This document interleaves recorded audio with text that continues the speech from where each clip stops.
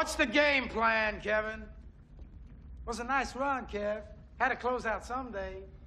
Nobody wins them all. What are you? Oh, I have so many names. See,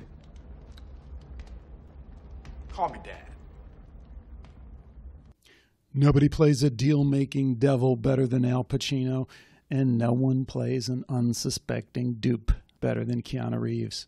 It's from the movie The Devil's Advocate, and it fits perfectly with today's controversial and just incredibly amazing, and for me, paradigm changing interview with Dr. Tom Zinser.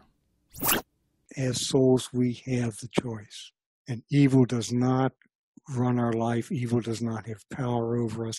And so, as souls, we do have that power to deal with evil, uh, to stop it, uh, to refuse it. And it's one of the reasons I said that distinction between darkness and evil is so important. So, our natural state is to have likes and dislikes that inadvertently, not our fault, but it happens, we block that light in one way or another. And sometimes we connect with those blockages more than we connect with the light, and it all becomes a confused state. What I hear you saying then is that we can begin talking about evil, darkness, as just blockages of the light that, of course, you always had the power to remove those. It makes them a lot less scary. And, and we do need that. Uh, we've grown up in our Western culture to be frightened of darkness and evil, to think of it as so powerful, to stay away from that topic for fear that it's going to get us, or people need to know it doesn't have that power. And I hope this came through in the interview, is this idea of the contract, because that is not only a method of deception that seems to be in play, but it's been enshrined in our culture through books, movies, as being don't make that contract with the with the devil you could never break it and what jared says and, and you prove in your work is that oh no there's, there's no there's no such contract it's null and void there, there it's unenforceable just all you have to do is say yes. no i choose to go to the light and it's all over that's right yes Welcome to Skeptiko, where we explore controversial science and spirituality with leading researchers, thinkers, and their critics. I'm your host, Alex Tsakiris, and today we're joined by Tom Zinser. In 1987, Dr. Tom Zinser was a clinical psychologist and hypnotherapist in Grand Rapids, Michigan, and like a lot of therapists, like a lot of people helpers, Tom wanted to see his patients get better, but they weren't, at least they weren't getting better as quickly or as often as, as he felt they should. So Tom, as he tells it, was almost to the point of giving up. Then a part time secretary in his office named Catherine came to him with a rather remarkable proposal that we're going to hear about. And what followed was a 15 year collaboration that changed Tom's practice, certainly changed the lives of hundreds and hundreds of his clients, and completely changed his worldview as well. Now, I'm not so sure what it did for his reputation as a clinical psychologist among his colleagues, but that's almost another story, maybe one we will get into as well. Because Tom's 15 year collaboration turned out to be with a spirit entity named Jared, who consulted with Tom about the problems his patients were facing and suggested specific ways to help them overcome traumas, relieve anxieties, and generally live a happier, more fulfilling life. Dr. Zinser's book, again, is titled Soul Centered Healing a psychologist's extraordinary journey into the realms of subpersonalities, spirits, and past lives.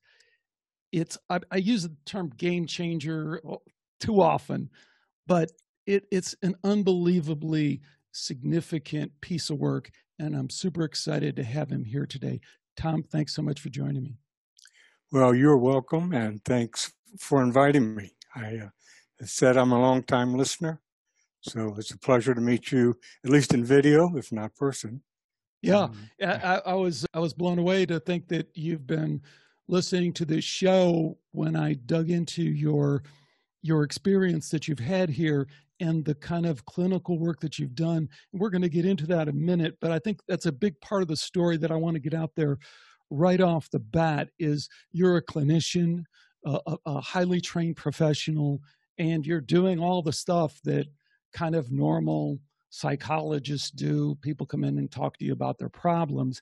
And then all of this other stuff, we're, we're going to talk about that, is kind of layered on top of that. So that might even be a good place to begin. Dr. Zinser, tell people a little bit about your professional background, your training, your credentials, just so people know that part of who you are. Yeah, I think even to be clear from the start, as I practiced psychology in the early 80s, once I began working with Jared, that crossed a whole different line in which I really was not practicing psychology as such any longer. What I was learning from Jared was layered, in a sense, on top of that in terms of the psychic and spiritual dimensions, the energetic dimensions. So, in the beginning, I worked as a hypnotherapist mainly focused on dissociative kind of disorders. But I just want to interject here. I just want people to understand because I, when I got into your your stuff, uh, this is the process I always go through. I'm usually super excited and blown away, and then a little alarm bell goes off in my head and goes, "Wait a minute, wait a minute. There's a lot of kind of shady people out there. Is this guy legit in the way that normal people would just come at it? Does he have?" An advanced degree. I mean did he go through the proper training? Is he is he legit in that way? And and and so i had those questions. And for me those questions were answered but i'd like you to kind of answer them again. Okay. I mean, what are your professional credentials? Well, I did my undergraduate work at uh, University of Notre Dame, and that was in basically was called the Great Books program, a very broad field humanities. But then I went on afterwards to get my master's degree with in emotionally disturbed children. And after gaining my master's and teaching for a year, I went on for my doctoral studies at Texas A&M in counseling psychology. So I finished my dissertation and began practice as an intern here in Grand Rapids in 1975. And then worked at the psychiatric hospital for several years before entering private practice. And it's in private practice that I really practiced hypnosis and really attempting to work with people who had been traumatized, whether in childhood or adolescence or even later. and then that led you as you just mentioned a little little bit ago into this work with dissociative disorders which is in and of itself highly controversial i kind of gleaned from your book that it wasn't quite as controversial when you first started. It's not like you were jumping into some trend. You had just kind of discovered it on your own. So dissociative disorder so people know split personality or multiple personality as it's portrayed in the movies is how it's been popularized. But from a kind of straight on psychological clinical perspective it's now recognized that people do have different kinds of disassociative disorders that lead to stress in their life so do you want to kind of help people understand that whole thing When I began, I learned about an approach to therapy called ego state therapy. And this is an approach that recognizes that we all have subpersonalities. The multiple personality, which was the term back then, in a sense is an extreme case of subpersonalities. So the issue was treating people through hypnosis, making contact with these subpersonalities, and helping these subpersonalities to relieve the pain or hurt or distress or fear that they carried. And it's these personalities that we were bringing back to integrate with the self. So multiple personality is an extreme, but it's basically saying we all have subpersonalities created. I kind of gleaned from the book that there was this kind of continuum. We all have ego states. We all have the gatekeeper. We all have the protector. We all have that. It just hasn't gone to the extent that it has. Or is that not really a, a good way to look at it? Uh, it really something kind of completely different when it becomes a problem for people? No, we are talking about a continuum. And most of the people that I worked with as clients, they were not multiple personality or dissociative identity disorder, as we talk today. They were what we want to talk about normal, everyday. But as in childhood and in adolescence, especially, the ego self, the identity, is not well formed. And those are very vulnerable times. And so when a child or an adolescent is overwhelmed by just say they got embarrassed or humiliated at some point at eight years old or or they've had an accident and just normal traumas. But if they are overwhelmed, then a part may be created to take over until things can restabilize. And so the, I think the, one of the questions you're implying, Alex, we cannot predict what subpersonality will be created for a person. It is a unique creation out of that person's own mind, the situation, what kind of distress is involved. You just can't predict. What you can predict somewhat is in trauma, when overwhelmed, a subpersonality will be created. In a way, even that part of the book was very empowering to me uh, in terms of understanding just general psychology, why I get angry when my Chrome doesn't refresh as fast as I think it should. And I look and I go, that's rather irrational, or why I think the weather should be the way that I need it to be. And I look at the irrationality of that and I step back, go, wow, what was that reaction? And I think your your book, and even just because I wasn't familiar with this kind of egocentric kind of approach, it it, it just it kind of clicked for me in a very normal way that didn't scare me or make me feel like I was strange in any way, but just that this was kind of a normal process that consciousness does to deal with things that come up. So that's, I don't want to make too big of a deal out of it, but I guess I, I we want to make kind of a big deal out of it because I think it is the foundation for this clinical work that you do. And again, folks, I can't stress enough, uh, you know, Dr. Zinser is doing clinical work. He's trying to make these patients more effective in their life. And what I love about this guy is he's constantly looking for new protocols and he's testing those in an appropriate way with his clients to see if it's more efficacious than the last. So I don't know. I think we do need to get all that out there. Well, I, I would agree with you uh, completely. Subpersonalities, I think, is an extremely important concept for understanding ourselves but I would emphasize that subpersonalities, whether what we might call ego states limited, all the way to multiple personality, where you have extreme alter personalities, that whole continuum, it is not necessarily accepted fully by all of psychology or psychiatry. Uh, uh, so hold, hold, on right there. I want you to speak to that because part of what you're saying completely uh, flies in the face of what a lot of people in the quote unquote psychology community, psychiatry community, mental health community, they are not on board with this. And, and you really raise this point very powerfully in your book, and that is this what I always slam on is these guys don't even have a meaningful understanding of consciousness. And I'm not just throwing stones, I'm saying it isn't coherent uh, uh, inside of their own framework. So here you are doing hypnotherapy.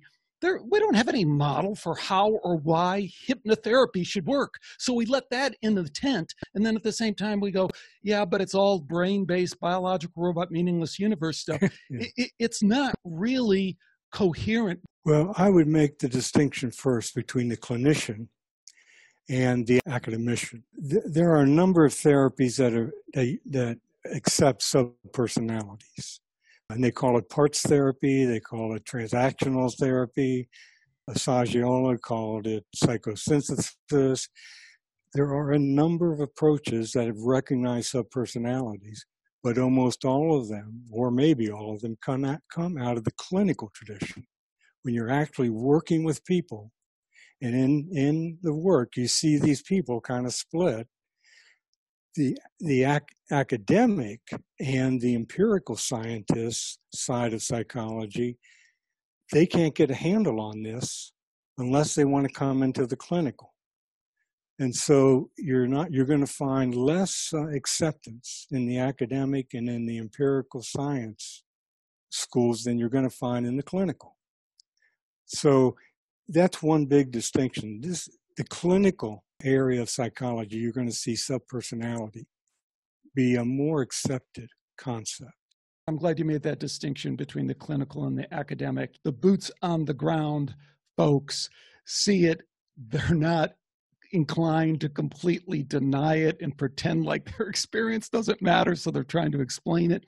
We see the same thing with near death experience where the people are really making headway is the cardiologist who says, I can't deny the fact that the person was dead, that their heart yeah. had stopped and then and then I can't deny the fact that they came back and recounted their resuscitation in a way that doesn't make any sense. So I have to investigate that. And then meanwhile, you have the cognitive science people and the other people saying, well, that just doesn't fit in our paradigm, so we don't have to deal with it.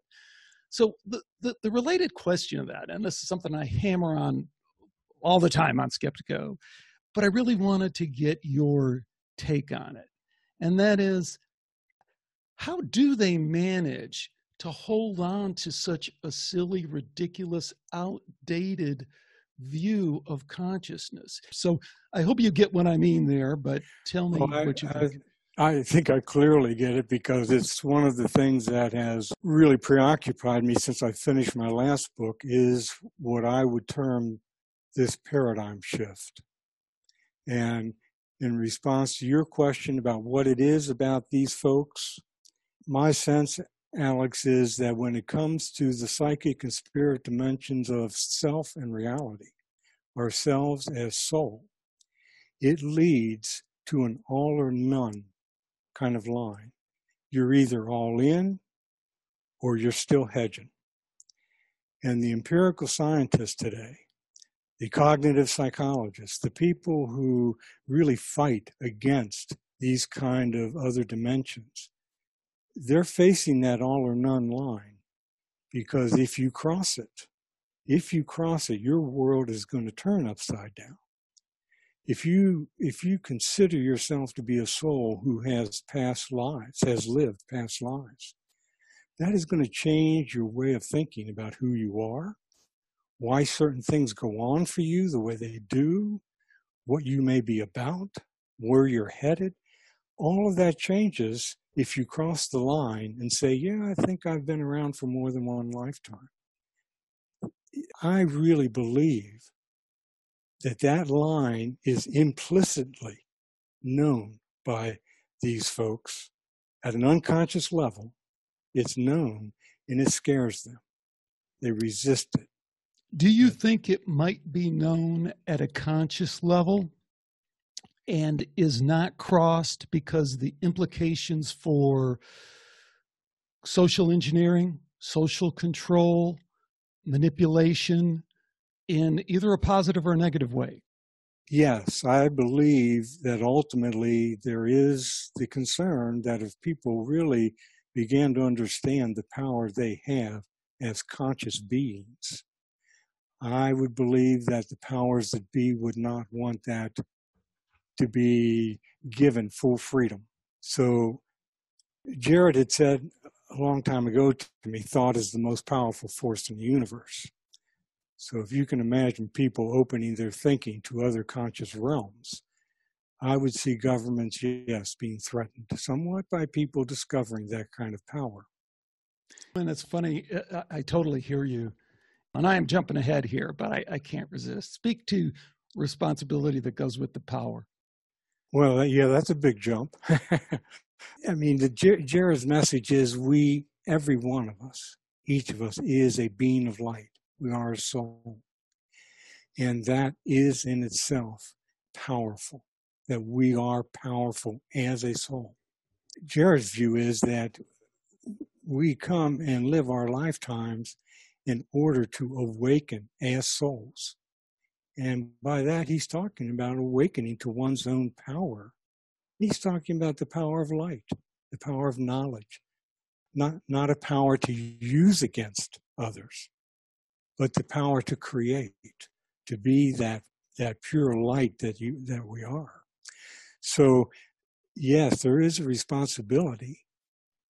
I, I, guess I have to approach it a different way, and that is each of us born, created with absolute free choice.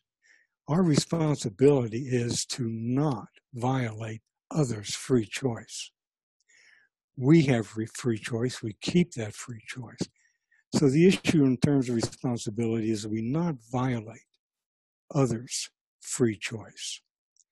But Jared will say that as in incarnations, as humans, we explore all kinds of things between the light and the dark. That's that's what that's what awakening is about. Responsibility is in not violating others. Awesome. And we did take a big jump, so let's back up and let's go right back to the beginning of this story because I kind of left a little bit of a cliffhanger there. So you're a practicing clinical psychologist, hypnotherapist, and this woman who you know because she works in your office, but you don't know her that well, comes into your office because she's overheard because you're kind of an open-minded guy and you're exploring hypnotherapy. So some other guys in the office are talking about Robert Monroe and out-of-body experiences, and you yeah. haven't played around with that. And she hears that and she sees an opening. So she comes in and what does she talk to you about and what happens next? Well, Catherine offered me an opportunity to have a session with a spirit entity that she channeled. how does how does that how does that conversation go? How does somebody sit down with you and say, "I've been channeling this spirit, and uh, he might be willing to talk to you"? Well, it's something I never considered with everything I did, but she came in, said she had overheard the conversation in the lunchroom, and it brought back to her that as a much younger woman, she had an experience where Jared had approached her mentally, and she had, she had shut it down. And when she heard uh, me talking about out of body experience and these kinds of things, she said she sat down again with her husband and went into her trance, and Jared was right there.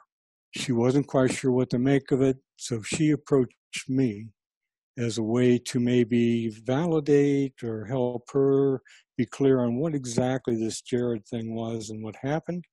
And meanwhile, she was offering me an experience with one of these paranormal or anomalous sorts of experiences. So I was open. I sat down. I, what I had to lose. You you were open, Tom. But you know, let's let's dive into that a little bit further because you're a smart guy. You're thinking about a lot of things. You're reading a ton of books. So I'm sure at this point you're also leery, skeptical, careful about channeling spirits. We've all heard this. It can lead to a lot of confusion. At the very least, it can lead to just misinformation and being trickstered or even worse kind of thing. So as you approach this, what kind of not just safeguards, but how are you thinking you will approach this as a clinician?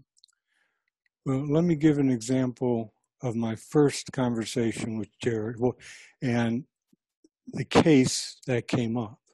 And that was a fellow I was working with. He, he was around 40 and in in trying to identify his subpersonalities that were getting in the way here.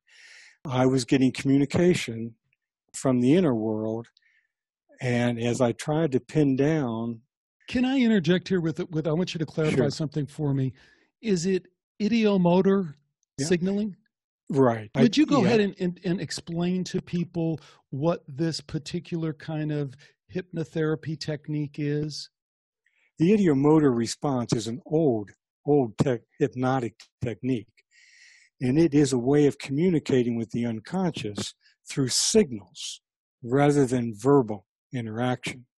So we want to put people in a deep trance so we can get to that deeper part of the subconscious, even though we don't know what any of these terms mean. We don't really know what hypnotherapy is doing. We don't know what deep consciousness would be. We don't know any of that. But it, we're just, as a clinician, you're saying, hey, this is effective.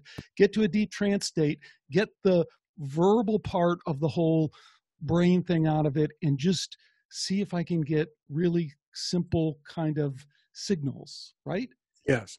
Asking yes or no questions and getting signals yes, no, stop, or I don't know. And this technique using signals, and I use finger signals, it is a very quick way to bypass the conscious mind, get the verbal self out of the way so that the client consciously is not responsible for anything I'm asking. I am not asking them, I'm asking their unconscious mind. So the ideomotor response is what I'm using with clients back then. So you go to talk to Jared, and how does that go? Well, it took a while for Jared and I to develop a language and an understanding. But in that first session, I did bring up a case, this one where I kept getting contradictory answers. And he gave me information and he said that there was a spirit present with this client who was interfering with him and confusing him. And that was a bit of a shock to me, but I did take it back in the next therapy session with this man. And I started asking questions as if Jared's information were correct, that there was a spirit present. Hold on right there, Tom. This is a huge leap. And you alluded to this at the very beginning of this interview that it, it almost sounded like you felt a little bit guilty that you went off reservation like this in terms of the normal protocol that's being used.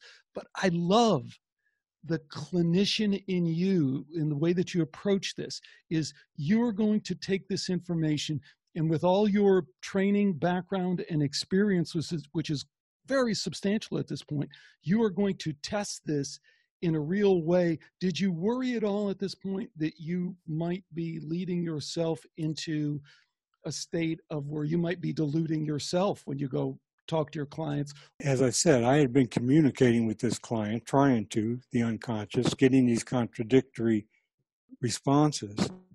When Jared gave me this information, when I went back to my client, I was already in, in the habit of a question and working with him.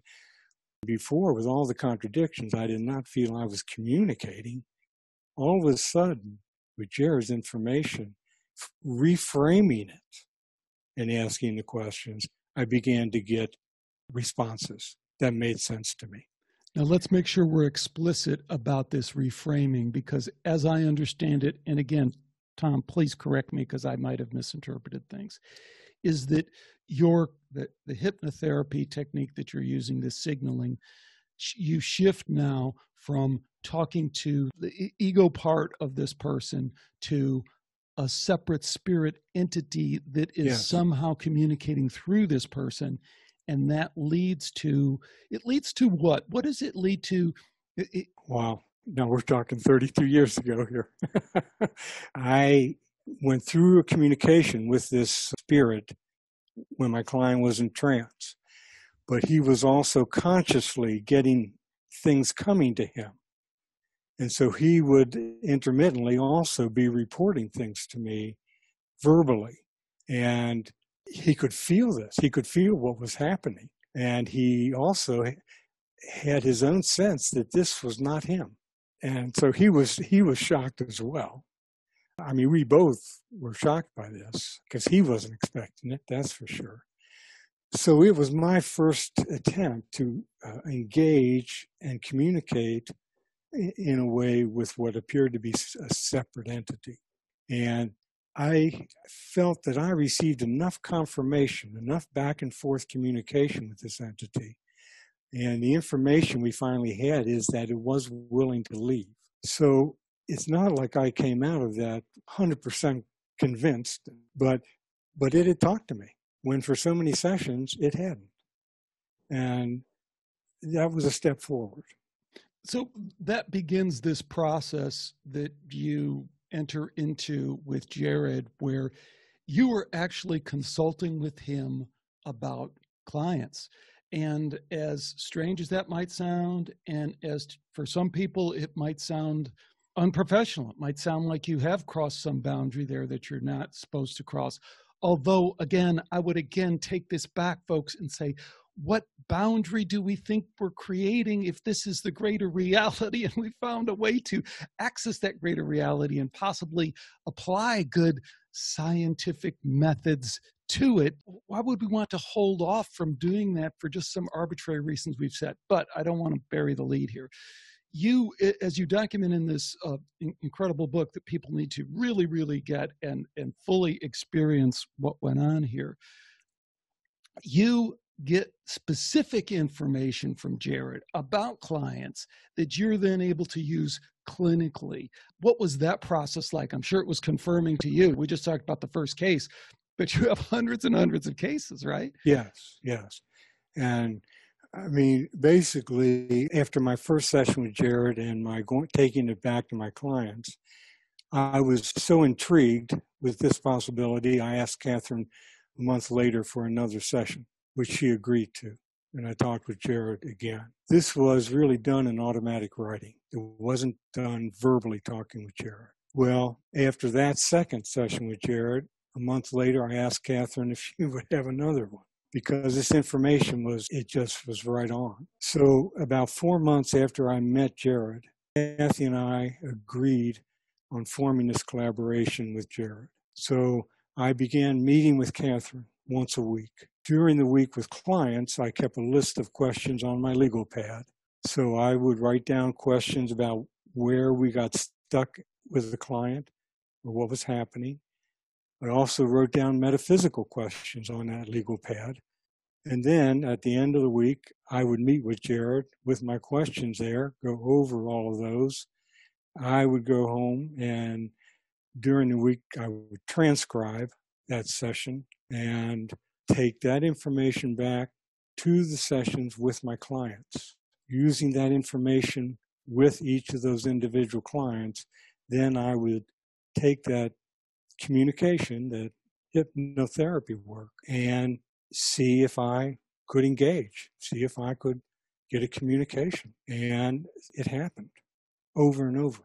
And that leads to, as we learn in the book, it leads to you developing more of a I don't want to just say intuitive, but an intuitive sense of what might be going on. So your questions to Jared as we read in the book are more pointed. You kind of know, hey, I think this is going on. Can you confirm that? Rather than what the heck is going on. Let's just stop there. It, well, it was kind of the process of Jared identifying something. Am I going and testing it out? I mean, you got people with past life stuff, you got people with spirit attachment, you got people with just their own sub personalities. All of these different clients, I would follow up with him and then take that information back in all the different situations and see if I could have ongoing communication. But he would identify something at first. And I feel a need to bring in here that one of the things he identified was that part of us cell ourselves that he called the higher self. And that higher self, according to Jared, knew so much of the person's inner world, was aware of their soul history, was able to be a conduit of light for each of us in our present life. This higher self became more and more a central figure that I worked with with each client that I would establish communication with their higher self. Now, Jared has said, when I, and I explored this deeply with him about higher self, he pictured the higher self as though the soul projected a piece of itself into the present life when the person is born. And in projecting that piece of itself, that higher self knew it was part of the light. It knew it was part of the soul and it was for this person's lifetime. The, in a sense, a beacon of light, an inner guide. And I began to work with that higher self to be a part that could explore and identify parts of the self that were in trouble or had problems. To make it, even to me, even more impressive, the higher self could communicate directly to the ego states, the subpersonality. It's as if the higher self could go to where the subpersonality was and communicate to it directly. And higher self could also bring that subpersonality, the divine light, from the soul and from the creator, could bring the light to that subpersonality. And this is another one of those confirmation things. And I would tell you it's one of the most powerful. I have worked with thousands and thousands of subpersonalities. 99% of the time, once higher self brought the light to a subpersonality, it changed its attitude and its perception almost immediately. It became agreeable with the healing process. It became agreeable with heal, sharing its trauma, even though that was painful. When you see something like that happen 99% of the time, to me, that's a scientific finding. It's a consistent finding. The significance is out of the ballpark. And, but that still happens today. Now we have a bunch of Skeptiko questions that you just kind of raised. The Skeptiko drill here, so nothing, nothing to be surprised about. Well, one thing is you're going to trigger a lot of people. I hate that word, but it's the right word. You're going to trigger a lot of people with certainly with divine, with God, with creator, with even higher self. These are all words that are highly charged in our society and our culture, particularly because of the religious connotations to them. So, can as part of a way to dive into that, talk to me about religion and how you understand religion fitting into what became your larger worldview, your larger understanding of the extended consciousness realms. I basically think in terms of spirituality and spiritual realm. I look at religions, plural, as forms attempting to help humans come to know and understand their divinity, their own divine light, their soul. Okay, but let me interject a question here because I just talked to a guy maybe two weeks ago terrific guy. His name is David Ditchfield. He had this, inc- he's from the UK. He had this incredible near death experience where he was dragged under a train and, you know, left his body. And he met God and he saw Jesus. And he came back and he was meeting with, uh, with a person at a spiritualist church who had abilities to see and understand these extended realms. And she said, you met Jesus, didn't you? And he goes, Yeah, I met Jesus. And I was talking to David and I said, What do you think about that? How do you understand that idea that you met quote unquote Jesus? Because if we look for Jesus historically, we don't always find Jesus. And if we look at what some people have done with their with their Jesus, we don't really feel so great about that.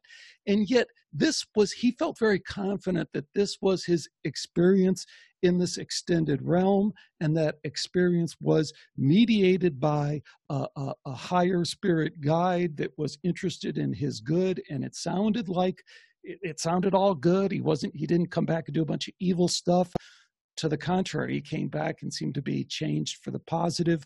How are we to understand, for example, that guy's experience or millions of other people's experience with a Jesus that may or may not be historical in the sense that we think about? You're asking big questions, Alex. In the spirit realm of light, where souls exist, there are uh, spirit guides there are those departed loved ones that all of us have who have passed on. Those souls in the light can also be aware of us. And Jared had said that from the beginning, the promise, and he used the term light or God, that the promise was made that each of us who incarnated, every soul who incarnated, would have a spirit guide. And so my view is we all have at least one spirit guide. We may have different guides during our lifetime, and at times we may have more than one guide involved with us. So when we talk about in the near death experience, when we talk about people who are close to death in hospice, who are getting ready to make transition, they will see departed family members come to them. That is so common. And thing is, in spirit realm and at our unconscious soul level, there's more that's known than we do know consciously. The person who sees Jesus, as opposed to the person who sees Muhammad, as opposed to the person who sees another kind of being of light, that presentation is for the person who's having the experience. Hold on. Pause right there and tell me we've heard that. We've heard that so many times. Tell me specifically how that fits into what you learned working with your clients because there does seem to be a little bit of a disconnect for me in terms of if this Jesus figure is because I've talked to um, again a number of well-meaning spiritual people who have a direct experience with Jesus, which I'm always okay with, but when I try and say, well, as I understand it, you had an experience with Christ consciousness. They're like, no, Alex, you don't get it. I had an experience with Jesus, and it is Jesus of the Bible, and that's just it, and don't tell me otherwise. I would say that these beings who come to meet us in different situations are conditioned by the person who's having the encounter. If you grew up with Jesus, and in your own mind and heart, Jesus becomes a symbolic figure. And by that, I'm, i mean a sacred symbolic figure for this person. That figure is imbued with energy also. And it makes connection to the spirit realm. And when that person, whatever the situation happens that calls for that kind of encounter, especially near death or death itself, or an out of body trauma. Jesus may be the one, and I'm not even sure that this figure comes forward and says, I'm Jesus, but it may come forward and appear to the person what their symbol is calling for. I don't myself, working with people, I don't need to answer the question whether this being of light is in fact Jesus personally because there are all kinds of beings of light who've come to meet the people I've worked with. And there's all kinds of beings of light who came to meet these people with near death experience. So I guess I would say it's more conditioned by what the person is ready for or the way they perceive things or the way they need to see things in order to make the, the contact. What I think taking from your work, and again, I want to emphasize this because it's like kind of one of my main things. I put up on the screen something that you wrote from the book. So you're saying past lives, as with near death experiences, there are too many reports from too many sources and too many reputable studies to just be flukes or fantasies. We're talking, for example, about children who possess very specific past life memories and details of people and places and events from previous lifetimes that were investigated and corroborated in ways that left no room for doubt. Now, I shared that earlier on the screen, but I wanted to read that into the show because here's where I go with that. The level one discussion is Is that true? Can we rely on the University of Virginia and Jim Tucker, who did the follow up work from Ian Stevenson and compiled thousands of these past life accounts and published them in an organized, systematic way, and we're totally open to review and criticism and withstood all that. That's level one. And you just stand up to anyone and go, Well, if you don't understand that, I, there's nothing I can do. There's the data. You either have to deal with it or not.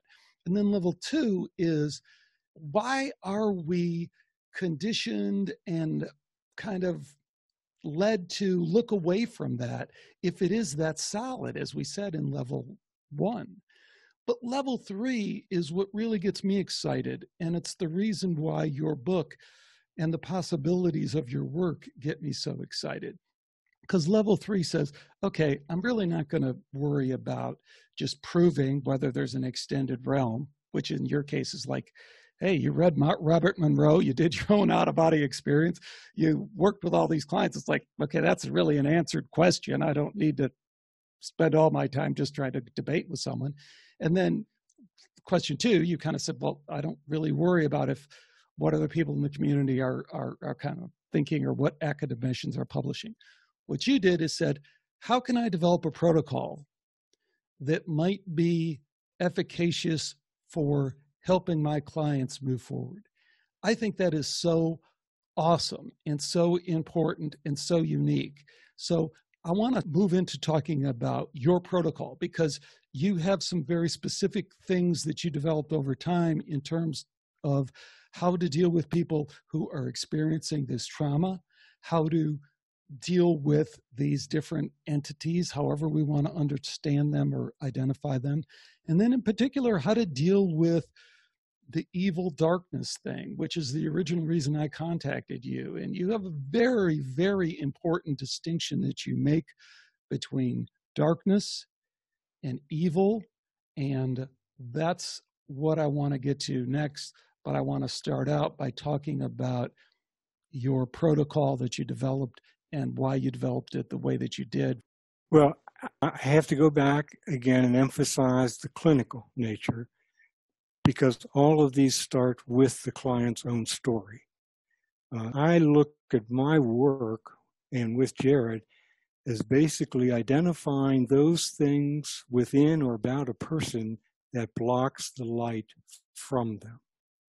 And ego states, subpersonalities are often blocking the light because they carry pain or hurt or fear or distress. If you bring them light, they can refuse it because they are part of the soul and, and therefore they have some level of choice. Well, they often refuse this light love energy because it brings up their pain. And if you're going to bring up their pain, you're going to have to be able to offer them relief or else forget it. Don't bring up their pain just to have them be in pain. So the protocol developed for the ego states is make the contact, communicate with them, make it safe for them to receive this light love energy. Once they receive it, as I said, 99% say, Whippy, I, I love this, I don't want to be without it. And then they will move through the sharing and release of what happened to them. For spirit attachment, outside entities, it's a different protocol. They don't belong with the person they need to leave. And so, again, in working with Jared, it was understanding how to approach these spirits to gain their cooperation to leave my client. And in the worst cases, protocols designed to get to a point where they could be removed forcibly. So that's a different protocol. Hey, Tom, can you help me and help folks link those two because I think those two are also related in some important ways that you talk about in the book in terms of uh, trauma, frustration, anxiety, and this separation that we feel can be an entry point for some of these other entities that come in and hang around and disrupt people. Do you want to speak to that at all?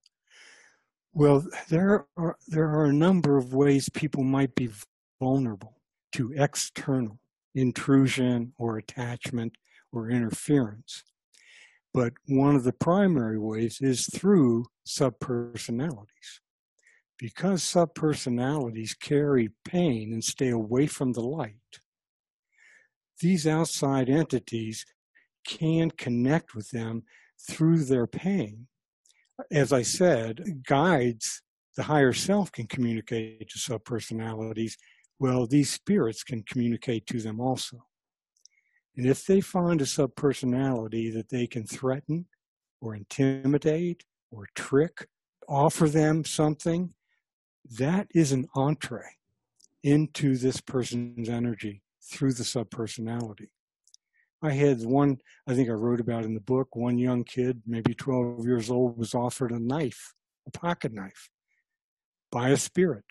He took that knife and felt now he could protect himself and he was kind of stronger now with this knife, but it turned out that the knife was a device used to keep the door open. As long as that child kept the knife, he had connection to the external one. So we had to convince him to give up the knife before we could break the connection with that spirit. Because as long as the kid kept the knife, he was given permission for the spirit to stay connected. Wow. I mean, we could go into a full discussion on that for at least an hour because it, one, it launches us right into a Netflix streaming horror series that we all hear about. And that's okay because it suggests that fiction is imitating reality in ways that are even more real than we dare to even think about. You have to read the book, folks, to understand the process that Dr. Zinser went through here, but it was kind of painstakingly step by step as he talked about meeting with a client, taking notes, transcribing, thinking about it deeply, then quote unquote channeling this spirit, however you want to feel about that, and then going back and doing the hard work with the client. One of the things that really came through in this book that made me feel more confident of what you're talking about is you emphasize over and over again that this is not a quick fix 30 minute exorcism walk out like a new person it's more right. about the journey that you are on your soul journey if you want to use that corny phrase and it's it's a process and you engage in it and you keep moving forward and you realize decisions that you've made and you remake decisions and, and talk about the work, if you would, that is involved in this process, both on your part and on the part of your client? I'd have to say, in terms of the healing method itself, it begins with basically hearing from the client what their difficulties are, what the symptoms are, what the struggles are. The first thing I do, and I learned this from Jared, is to contact what I call the protective part of the mind. The protective part of the mind is a part of ourselves that is conscious in the present. We think of our conscious self as able to think forward and backward, past, future. The protective part of ourselves is a consciousness, but its consciousness is limited to the present. It's not thinking about what we're going to do tonight or what we did yesterday. Its focus is in the present. That's where its consciousness is. When I work with somebody, I learn to connect, contact the protective part first to get permission to go forward and work with trauma. I found out that the protective part was often the part blocking me before I met Jared because the protective part saw me as a bull in a china shop, bringing up trauma, bringing up pain. So the protective part finally agrees, then I will make contact with higher self. When I make contact with higher self, there's a number of things in the protocol to make sure the communication is with higher self and that it is free. Higher self is free to communicate. When I'm convinced of that, when I'm assured of that, then I will start with higher self looking inside and start to review these issues or problems or symptoms that the client has talked about. And it's through higher self then that we will identify and see if higher self can identify a source. So if a person, let's say, has intense anxiety, panic attacks, we will ask higher self to look inside and see if it is able to locate the source of the panic attacks. You may find by the time it's done six or seven subpersonalities that are involved in an anxiety pattern but from different experiences. You might find that there is also a spirit present who kind of gets all these subpersonalities afraid and upset. You just don't know. This is going to freak people out a little bit, right? I'm sure you go to conferences and meet with colleagues and they think it sounds flaky, I'm sure. Well, I'm afraid this is part of that issue that if you cross the line, you're looking at a whole different kind of reality. And this goes back to subpersonalities also. I came to the point in work in my work with Jared where I came to understand the subpersonalities, at least in my mind, I best understand them as psychic beings. They're not just memories. They're not just kind of dissociated states. They are actually psychic beings. They're able to communicate. They're able to receive light. They're able to make a choice when you tell them they have a choice. They do have feelings. They're beings. And the issue is helping this being be relieved of whatever pain or distress it has so that it can join and integrate with the conscious self. I know this challenges people because, I mean, talking about the protective part is a different consciousness. Talking about subpersonalities is different consciousnesses of ourselves. The higher self is a different consciousness of ourselves. These are all different levels of consciousness. And our modern psychology wants a unified identity. It is an egocentric paradigm. And when you get past the ego, they they just want to reject that. So with that, let's talk about something really controversial because we haven't talked about anything controversial. let's talk about evil and the darkness. And this is a huge topic to uh, explore. Your book is very systematic. You methodically go through the protocol, you go through your experiences and how one leads to another. But one of the things that comes up in your work is that there are some spirit attachments that are basically based with confusion. The spirit is attached and is harassing this person, but it isn't malevolent in the way that, like you're saying, if you were able to connect with that spirit and communicate with that spirit and offer them a better option, which is to go for the the light, which is always shining and, and willing to accept that spirit, they go, wow, that really is better. I'm sorry I was confused and stuck here. I'm ready to move on. But then you experienced some that were not. You say, go to the light, and they go, no, I'm not. I know the light's there. I'm not going there. Where to start about darkness? The, re- the reason I sent you the email I did originally was about the distinction between darkness and evil. And we all have to deal with darkness. And Jared's information to me was that this physical reality created by the light, by the creator, whatever you want to call it, made a level playing field between the light and the dark. And that level playing field is what gives souls free choice. Your understanding of evil, though, is truly unique and for me was truly revolutionary in terms of understanding some of the subtle ways that evil comes into play and interacts with that darkness. Going from darkness to these spirits who have entered darkness and operate from darkness and have become evil in the sense that it is their intention to violate souls and they can violate souls here in the physical who have incarnated. And as Jared pointed out, every soul in darkness is a soul of light.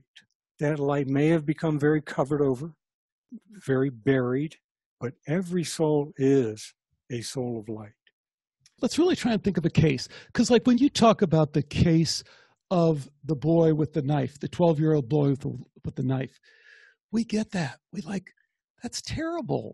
Why would you do that? Why would you create this false contract with someone, which we've heard over and over again? People are convinced that they've made some deal with Satan, uh, which again, historically, there is no Satan, but it's real on some level. We have made some deal. I've sold my soul. And what Jared tells us very importantly, and this is a very important part. He says, No, there's no such, you can't sell your soul. It's just another form of deception that a being that is attracted to the darkness likes deception, likes to screw with people, likes to drag people down. So they will create these ideas that you have this obligation, but you don't have this obligation. That's a very important point from your work so speak to that but then also speak more broadly to why why there is this connection to the darkness well first of all as souls of light even when they're in darkness these souls need light they need the light and they do not want to go to the spirit realm of light to receive it for a number of different reasons. Explain some of those reasons because I think that'll help people lock in what you're talking about. Well, there are souls that have died with tremendous feelings of guilt, whether it's because they've murdered people or they've laid waste to people, betrayed loved ones. There's different reasons like that. They were in war and became enraged and violent. And when they die in that state, they may be afraid of being judged, afraid of being condemned by this God they believe in.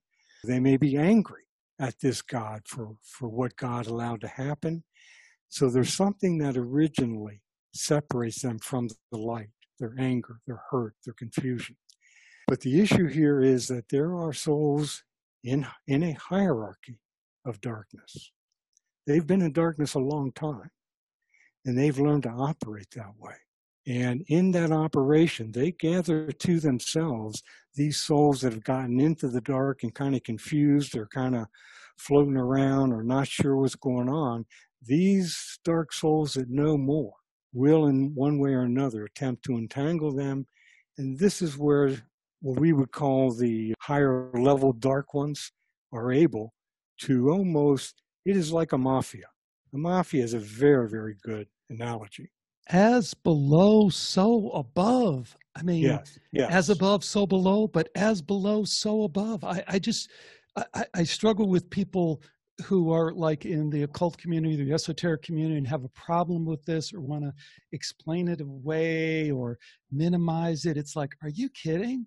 Just look on look on our planet look in the worst parts of our our existence as it is we see the same thing. We see hierarchies of evil. We see people that do horrible things and that grow comfortable with that eh, so that they don't feel comfortable being normal and ordinary. So uh, to me, your uh, incredible exploration just was confirming that yeah that's what i see here. That makes total sense that that would be what's going on in these extended realms well i would say in working with clients where these kind of dark spirits were present it wasn't trying to remove them or get their cooperation to leave that we found that as as they got closer to maybe agreeing to take the light, they were starting to be threatened.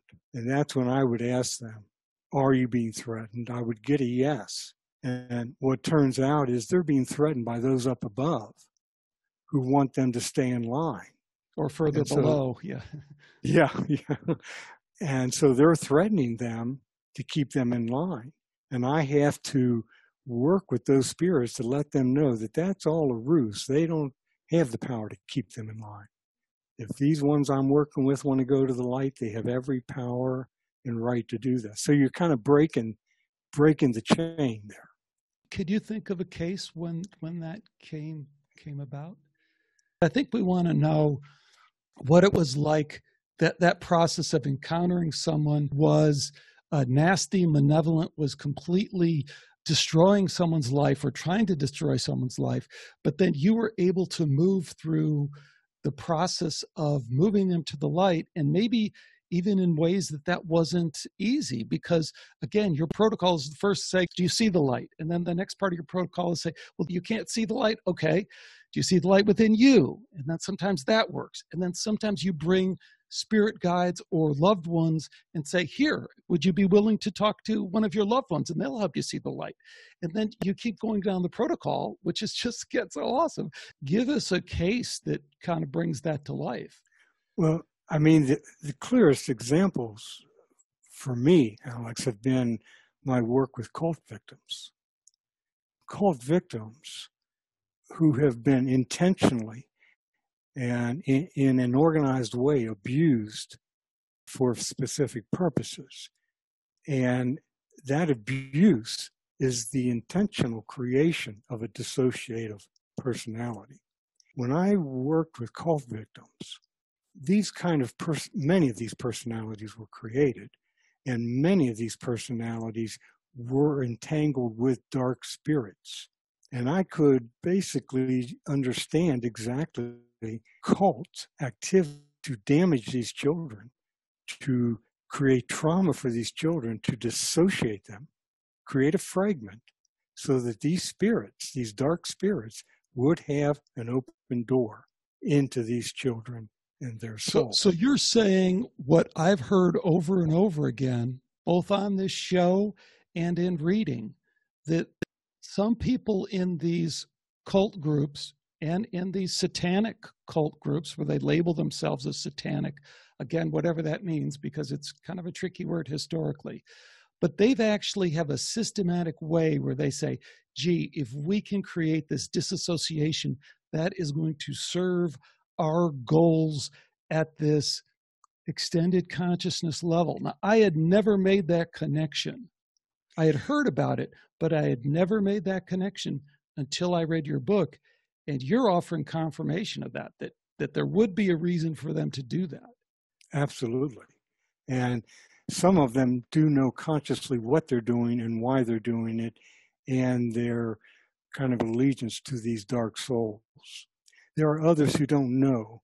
They carry out this kind of dissociative trauma for the child in the belief and, and for the purpose of bringing that child under their control. So that in the future these abusers can control a subpersonality. And and they have these techniques and methods developed to control people in that way through their subpersonalities. They're not necessarily aware of the other level where there are dark souls very involved but some people are some of these abusers are aware of that level What has the process been like in terms of working with these people? And again, I really appreciate that you can look at this from a broader perspective. Everyone is of the light, everyone has the ability to return to the light. People can get off the path. We have the whole past life thing to work into. Sometimes children are entering into this because of some stuff they're bringing from the past life. I'm again complicating things, can't ask a straightforward, simple question. But I'll go back to that first question then. How effective have you been able to be in terms of helping people overcome this kind of really severe spiritual interference, spiritual disruption? I would say it's been very successful. It is very methodical and it's been very successful because basically what you're doing is working with higher self to find any obstructions or interference of the light. That's the process. Have you had clients, in particular cult victims, who you've been able to effectively treat and have told you, gee, I've been trying to work with this with therapists that aren't looking at this from a deeper extended consciousness realm and I haven't had any any luck. Is, is that your your understanding or, or what do you think about that? Yes, I feel like, again, learning from Jared and going through this with Jared was able to learn the, the kind of ins and outs of dealing with this kind of trauma and entanglement. So, yes, I believe been successful helping these cult victims basically break the ties, break the chains and connections to these dark souls. One of the things you have to say about the darkness that I think is very important is that it is there for a reason. It is a part of our growth. And the way you describe it in the book is that all your clients, regardless of the level of trauma they've experienced, are moving into and out of the darkness. And the trick, I guess, is to maybe not get too drawn into it, or, or what would you say with regard to that? Uh, I would. And this is, again, one of these things about the distinction between darkness and evil. Souls that are evil do intend to violate us.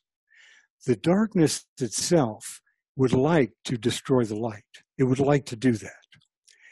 But the darkness has to, in a sense, obey the boundaries. And it will not violate those boundaries, or else the light will have recourse.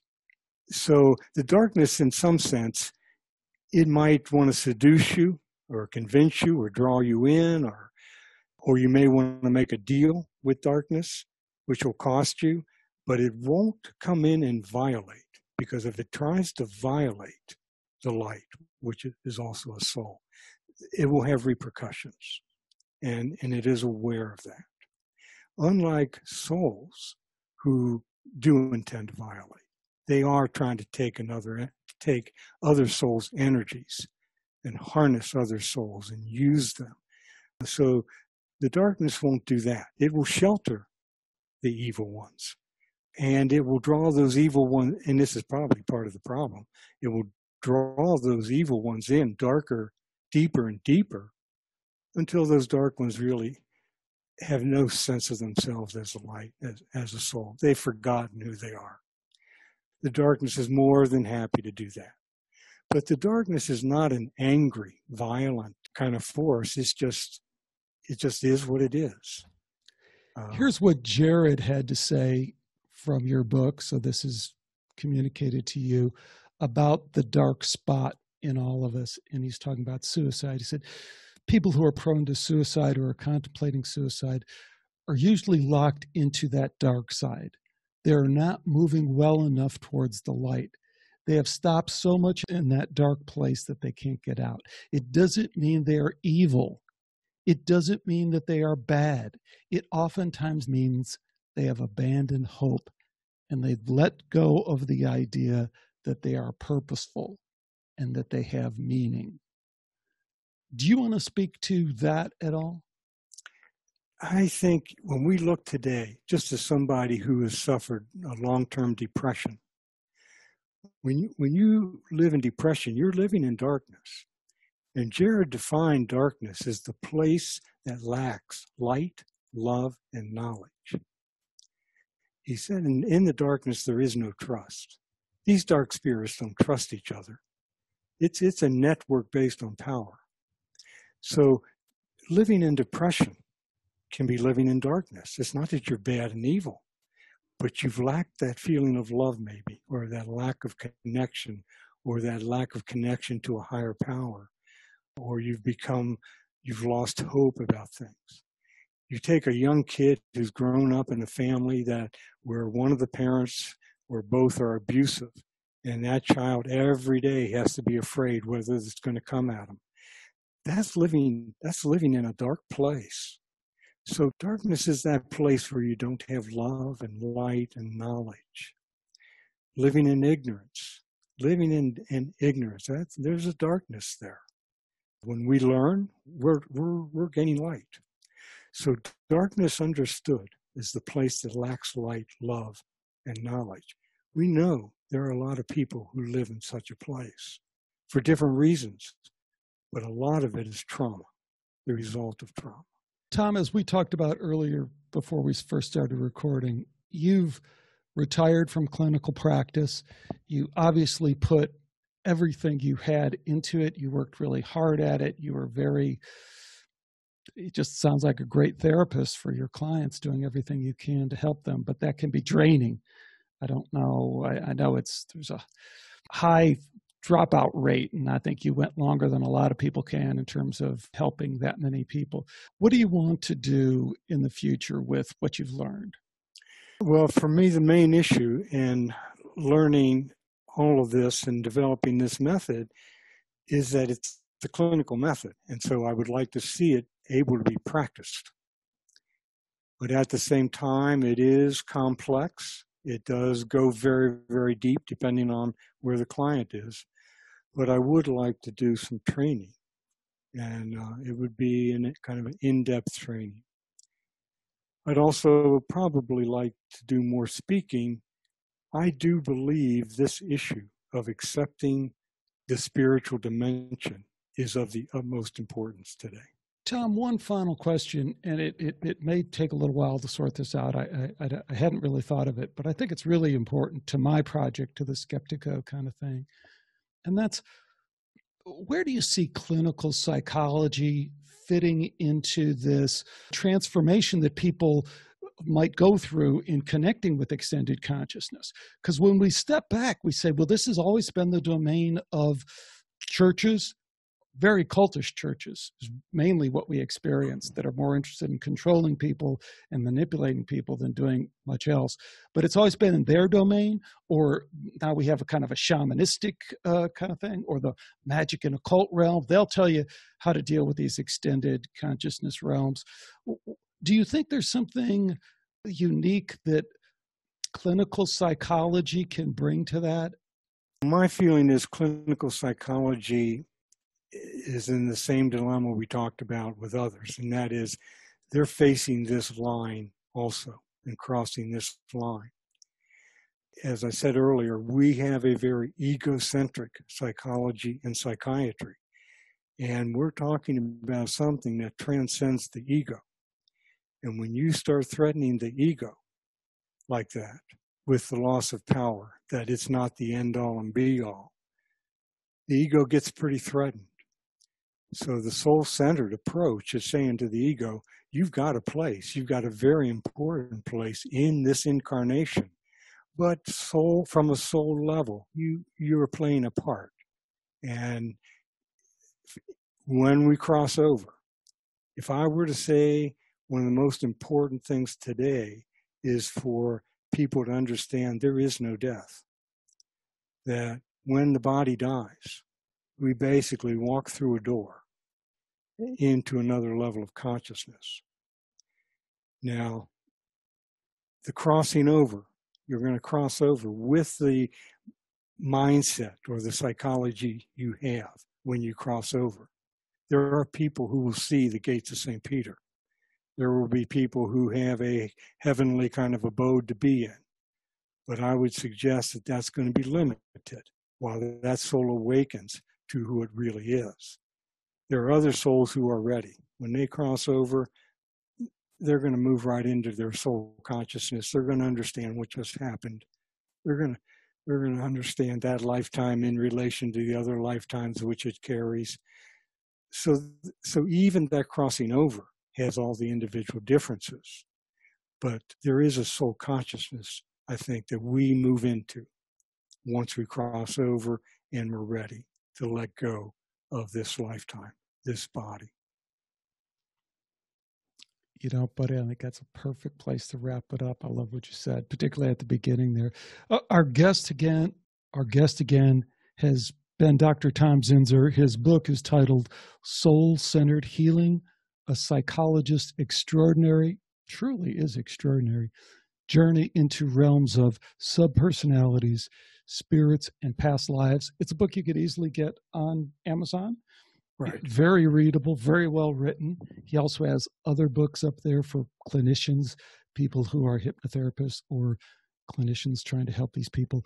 Tom, it's been great. Two hours. I could talk for another two. Will you come back and join me sometime in the future? I'd be happy to. I'm very happy to have the time with you. It's been a, a, a good hour to talk about uh, strange things and uh, big things. So it's uh, thanks again for having me. Well, awesome. Very, very good. Truly, truly remarkable work. These things are never accidental. Your email coming at the time that it does, publishing a book and the title of the book is Why Evil Matters mm-hmm. How Science and Religion Fumbled a Big One. So this has gone right in the book.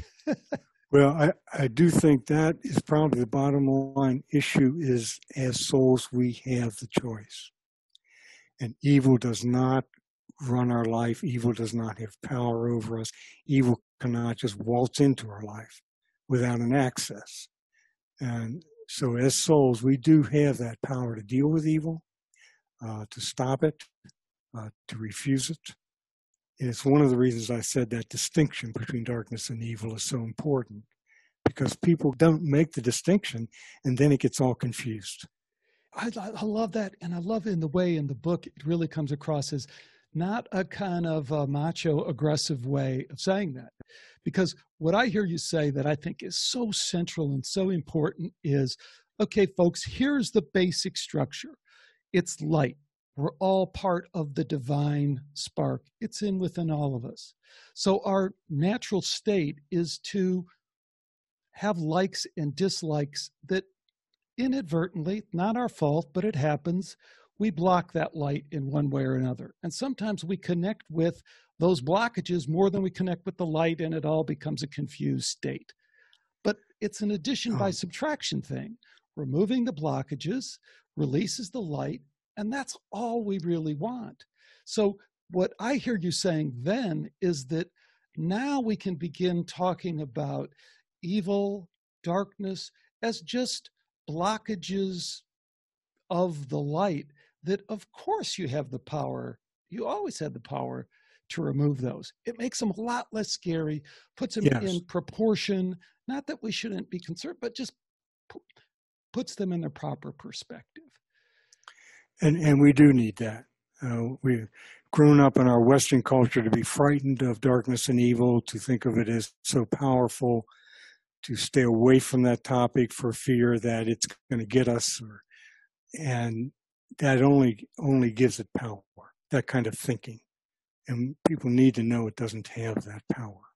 And I think what's particularly powerful, and I hope this came through in the interview, is this idea of the contract, because that is not only a method of deception here that seems to be in play, but it's been enshrined in our culture through books, movies, as being, you know, don't make that contract with the with the devil. You could never break it. And what Jared says, and, and you prove in your work, is that oh no, there's there's no there's no such contract. It's null and void. There, there it's unenforceable. Just all you have to do is say, Yes. no, I choose to go to the light, and it's all over. That's right. Yes.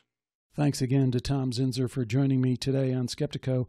You know, I could talk for a long, long time about this interview, and if you listen further to these shows, I'm sure I will. I'm going to be playing clips from this guy for the next hundred shows. This is everything that I'm about. Everything that I'm after right now is some kind of reasonably complete model for how these extended consciousness realms might work and a suggestion, a hint for how we might actually, I don't know, test some of those ideas out.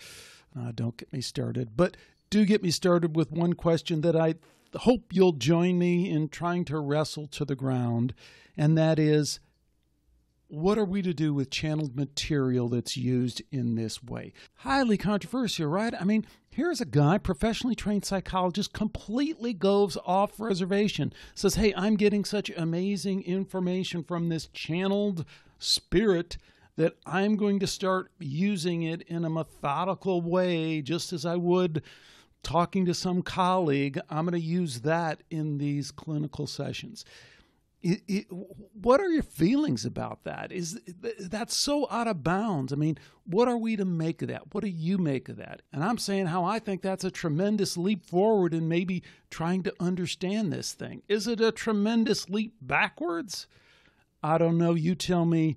Join me in the Skeptiko forum or otherwise drop me an email and let me know your thoughts because I really do like when you come over there and I like hanging out with you all. So please do so. And if you haven't responded to the call, check out the Skeptiko Forum. We're over there. We're having some good conversations about all this deep, deep, big, big picture stuff. So join us over there.